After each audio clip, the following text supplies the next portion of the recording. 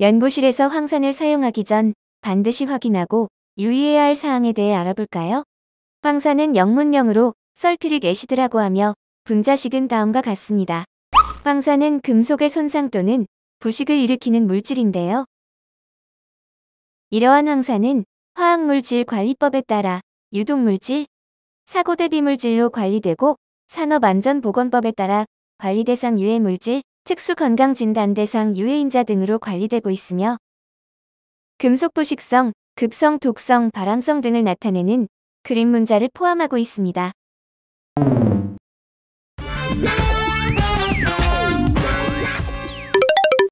황산의 분류 표시를 살펴보면 금속 부식성은 9분 1, 급성, 독성은 9분 2, 피부 부식성 및 피부 자극성은 9분 1로 표시되고 심한 눈 손상성 및 눈 자극성은 9분 1, 발암성은 9분 1, 특정 표적 장기 독성의 1에 노출 시에는 9분 1로 분류하고 있습니다. 이러한 구분 숫자가 작을수록 건강 유해성과 물리적 위험성이 강한 것을 의미합니다. 황산은 강철이나 알루미늄을 부식시킬 만큼 강한 부식성을 가지고 있으므로 접촉 시 피부 조직을 파괴하거나 자극을 일으키는 물질입니다. 아울러 금속과 접촉 시 수소가 발생하여 밀폐 공간에 체류하고 폭발할 수 있으므로 유의해야 하죠. 특히 눈이나 피부 접촉 시 실명과 화상을 유발할 수 있으므로 유의해야 하는데요. 피부에 노출되면 피부에 회복될 수 없는 비가역적인 손상이 생길 수 있습니다. 부식성 물질이 피부에 노출되면 괴사, 궤양, 출혈, 화상 등의 손상을 입힐 수 있으며 노출 14일 후 표백작용이 일어나 피부 전체에 탈모와 상처 자국이 생길 정도로 치명적인 물질입니다. 한편 눈에 물질이 노출되면 눈 조직 손상으로 홍반, 통증, 화상, 각막 콘탁 등의 증상이 유발됩니다. 심하면 시력 저하 및 상실 등의 증상이 나타날 수 있는 위험한 물질이라는 점을 기억해 주세요. 또 방산을 흡입하면 호흡기에 심각한 상해를 입을 수 있으므로 유의해야 합니다. 황산을 실험동물에게 흡입 및 투여했을 때 절반이 사망하는 반수치사 농도는 0.375L/mg으로 이는 가습기 살균제와 비슷한 독성을 나타냅니다.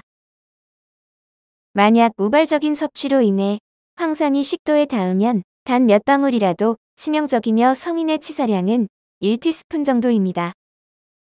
따라서 황산을 사용할 때 흡입, 섭취, 눈 또는 피부에 접촉하지 않도록 주의해야 합니다.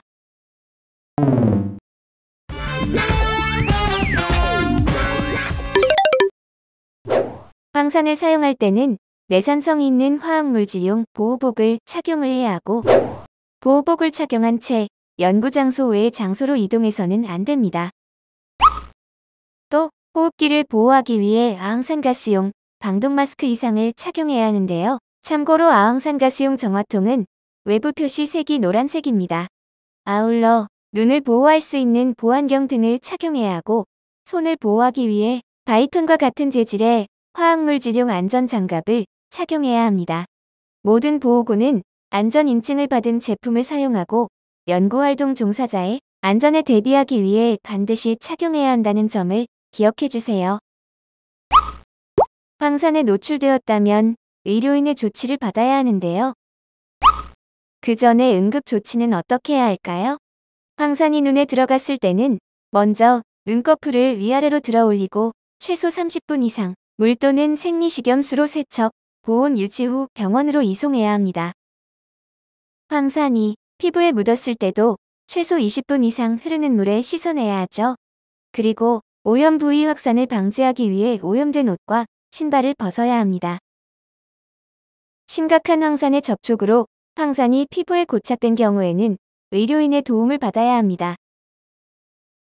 또 황산을 흡입했다면 신선한 공기가 있는 곳으로 옮기고 호흡하기 쉬운 자세로 안정을 취해야 합니다.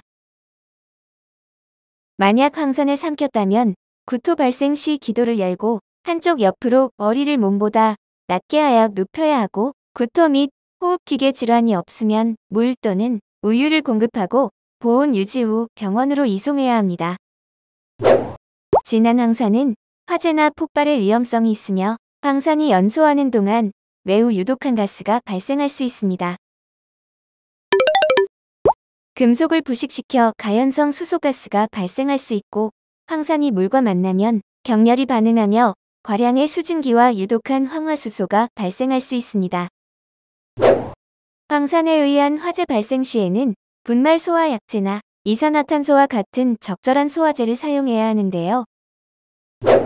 황산에 화재 진압 요령으로는 물을 분사하여 온도를 낮게 유지하되 가능한 누출을 막고 불이 꺼진 후에도 다량의 물로 용기 및 인접 지역을 냉각해야 합니다.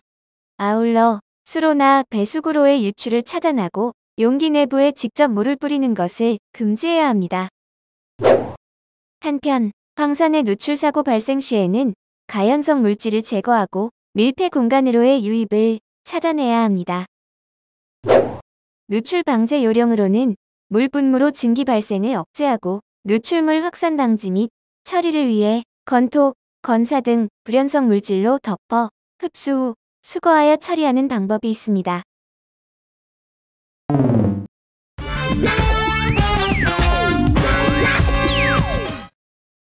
황산을 취급할 때는 MSDS, 라벨, 취급 설명서 등을 충분히 숙지한 뒤에 사용해야 합니다. 황산은 부식을 견딜 수 있는 내부식성 용기에 보관해야 하고 원래의 용기 그대로 사용해야 합니다.